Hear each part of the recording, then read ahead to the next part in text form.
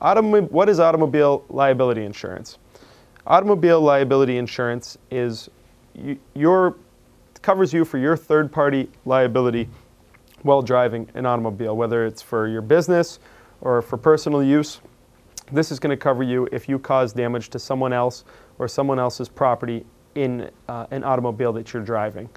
Um, automobile insurance liability can be purchased in varying limits.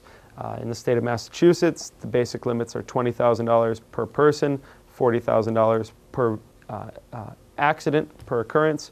Um, and you can purchase up to the sky if, if your heart desires.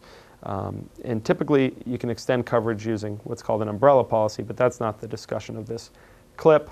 Um, automobile liability insurance is very important because really people's biggest liability in life is their automobile.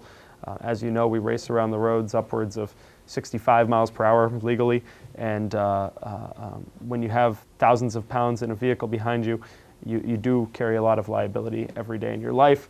So insuring yourself and insuring your automobile properly is very important in that way.